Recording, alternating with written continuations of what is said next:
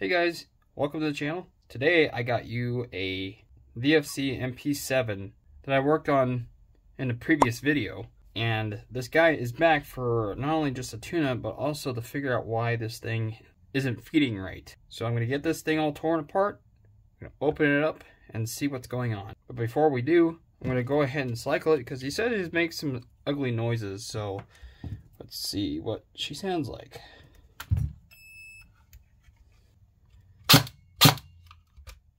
Oh, she's jammed. So, yeah, I think that's the first thing we're going to check is the see if the barrel's clear. But I do see that the nozzles are trickling back and forth, and he did say that it wasn't, or something like that. And I can clearly see that the BB is stuck right in there in the chamber, and I think the hop-up's turned up too high. So let's take a look at that. Got the gearbox out of the MP7. Off camera, I found out real quick, got a BB stuck in that chamber, and it's I mean, it's really stuck in there. And I'm pretty sure it's because the bucking is torn to shreds in this guy. And one reason that I believe that is because when I took this all apart, this hop up was almost turned up all the way. And it makes me wonder if it was kept being fired while the hop up was maxed out for whatever reason. It's a common mistake, so I totally get that. Even I would make a mistake like that. But we're going to tear this thing apart I'm first going to see what is blocking that BB.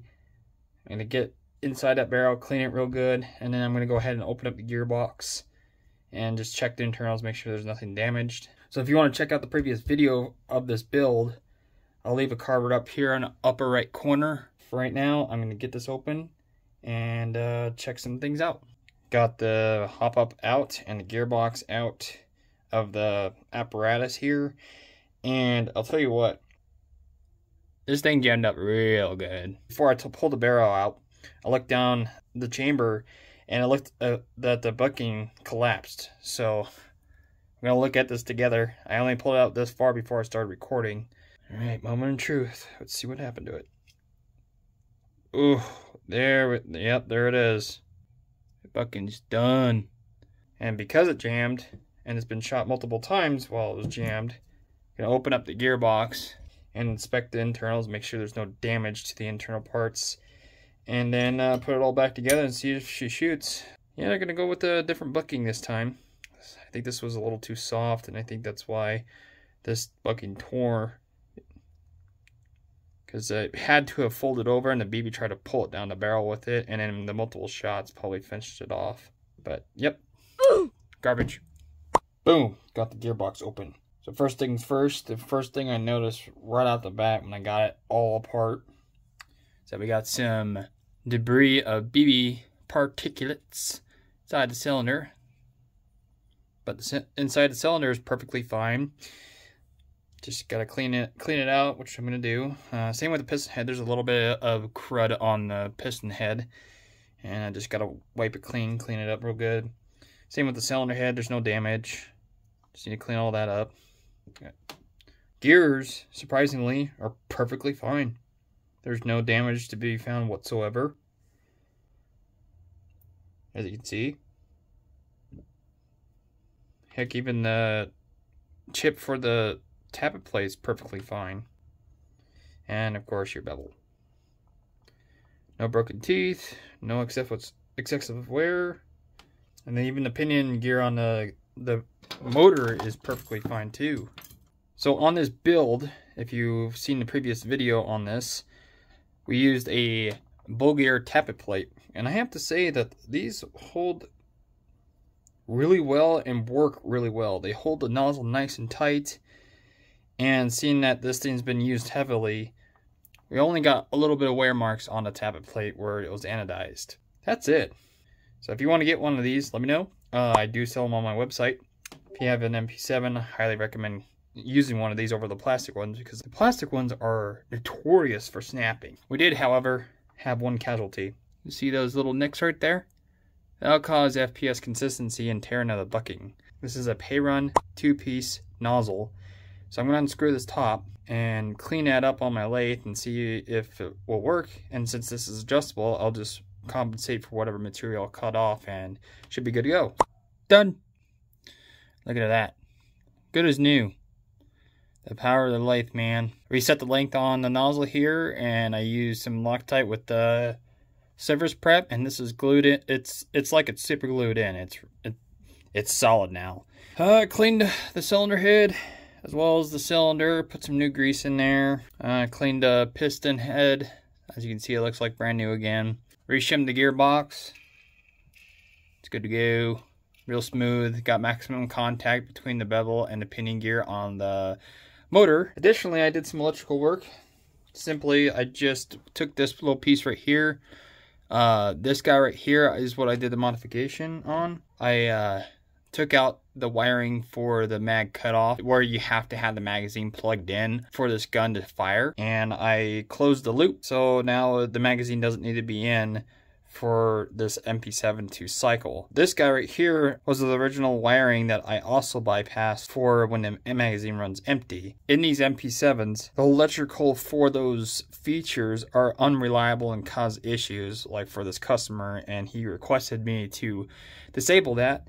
And this one's obviously for your trigger connected to this micro switch right here. So when you pull your trigger right in front of my knuckle right there, that gets pressed and the airsoft gun fires. So it's all bypassed now. So when he pulls the trigger, it will fire no matter if the magazine's empty or even in the rifle period. So so moving our attention to the hop-up unit and the barrel assembly, one complaint that I always hear with these VFC MP7s is that they like to shoot off to one side constantly. And here's why. These MP7 hop-up arms, they don't really hop very straight when you apply the hop up, what happens is this hop up arm, say my hand's a hop up arm, it, will start to tilt as you apply more and more hop up. And to show you what I mean, I'm, I'm going to turn up the hop up and we'll look down the barrel together and I'll show you. So this is exaggerated to show you what I mean. But you can see that that bucking is tilting to the left a little bit. It's tilted this way. And that's because the hop-up arm is made out of plastic, and over time, the axle hole on this hop-up arm starts to get all whacked out. And not only that, but the, out of the factory, they're they're like that anyway. So to rectify this problem, we are going to put a metal one in. This hop-up arm is made from GSI. I sell these on my website, wyshtech.com, if you want to get yourself one. They come with a maple leaf Omega nub that fits nice and snug in that little opening right there. And if you look closely, you can see that it has a curve to it right on top. And it mimics the curvature of the top of the BB. So when you use a hop-up bucking that has something similar to that, like the one you just seen in that hop-up, which by the way is called a Bugatti Fly 5 bucking that I'm testing in this MP7. It's supposed to help with accuracy. And speaking of accuracies, since this is a metal hop-up arm, it's going to be a lot more rigid.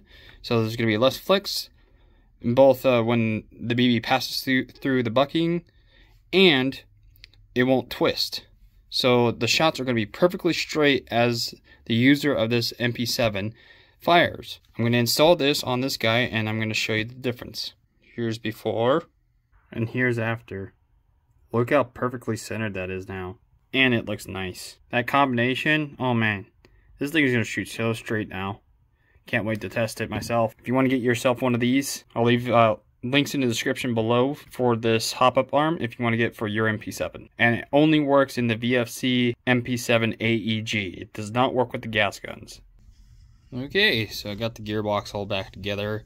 But other than that, I didn't see anything wrong with the internals whatsoever uh, the piston that we replaced in the last video, perfectly fine, nothing wrong with it. Hasn't done any premature engagement whatsoever. Still running the factory bearings, no issues there. The tappet plate, good shape. So that said, I'm going to go ahead and assemble the whole MP7 back together, and uh, we'll get to chronoing. Man, back to the bench. Uh, so off camera, I went ahead and got the whole MP7 together to get it all nice and ready, and then I chronoed it, and it was a little bit wacky and definitely below what it used to be. And I felt like there was something that wasn't right. And you can notice that I put a different nozzle in. We're back to the EPES nozzle because the Perun broke. And if you notice that little curve in there that's smashed in. I have a theory of why that happened. This damn thing. Stick it up just high enough for that nozzle to run into it. So if I hold the hop up all the way down to where that follower is all the way in the chamber, you can tell when that little magnet end of it is all the way in. You can see it through that little window. You can see that the follower is up into the chamber a bit, which is more than enough for that nozzle to come forward and hit it. And being that we have a metal tappet plate in here and a cam that really shoves this thing forward, I'm willing to bet that all that rigidity and this follower coming up high enough and it makes the original VFC nozzle from the previous video and this nozzle get damaged right here. So to fix this, I'm going to get rid of this two-piece follower setup and convert it to a one-piece to prevent that damage from happening. Additionally, I'm also going to make sure that this nozzle is not too long or too short by test firing in the chrono. So this is literally how I put the MP7 together to test fire it with BBs to make sure it cycles right. So I'm going to have it in this orientation, completely out of the shell, exactly like this when I go to chrono it. That way, if there's a problem, I don't have to slide this whole thing back out of the receiver again. Here we go, see what she gets. Alright, I'm going to just mag dump it.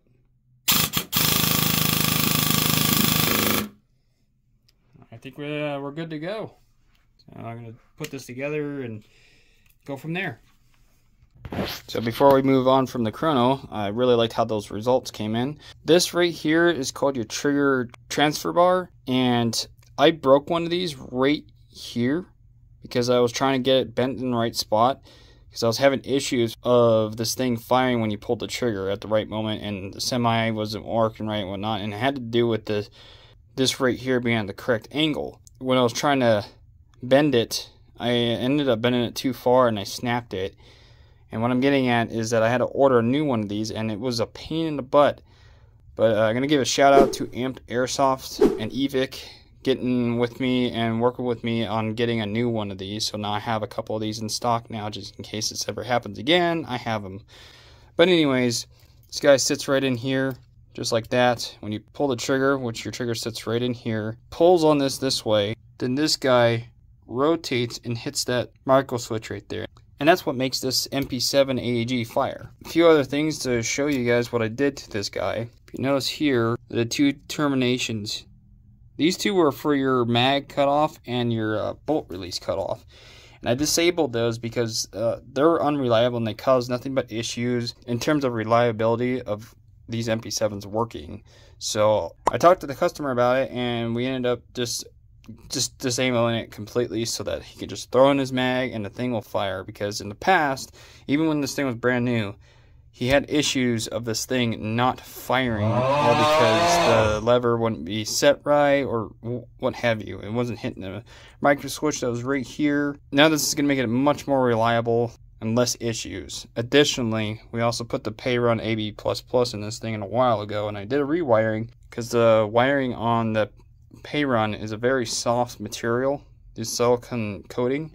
So I wrapped it around with the shrink wrap to make it more durable. And if you guys are interested in having your MP7 that needs work on or you want to do some upgrades, make it more reliable, what have you, I'll leave a link in the description below. I'm going to go ahead and throw this the rest of the way together and chrono it again and make sure this thing is going to work right.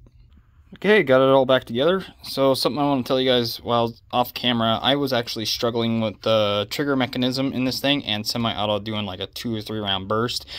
And I found out that it was because there was a piece behind this selector switch right here. Uh, it was like a little rocker thing. But anyways, it was slightly damaged in such a way that it was causing it to have those issues.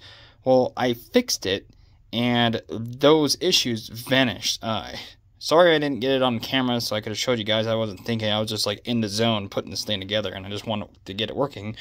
But I digress. So I'm going to show you guys how this thing shoots in the chrono and you can give me your opinions down in the comments. Okay, so I got a 11.1 LiPo in this thing. This is uh, what it is, 11.1 30C 5000 mAh battery. And I got 0.2 gram BBs in the mag. So here we go. We're going to start off with semi with 10 shots.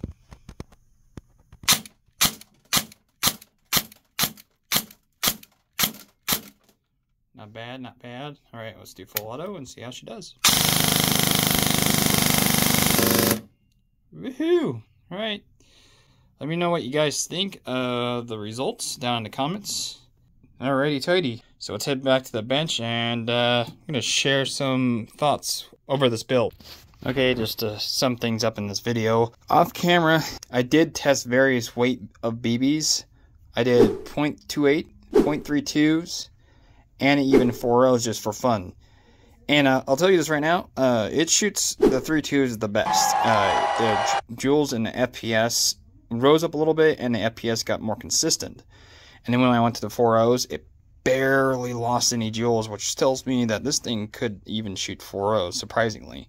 With that out of the way, guys, thanks for watching the video. I appreciate you guys' support. If you have any questions about the VFC MP7 Generation 2, leave down in the comments below. I'll also leave a link down below if you need yours worked on by yours truly, Wyshtech Airsoft. With that out of the way, you guys stay safe, and I'll see you on the next one.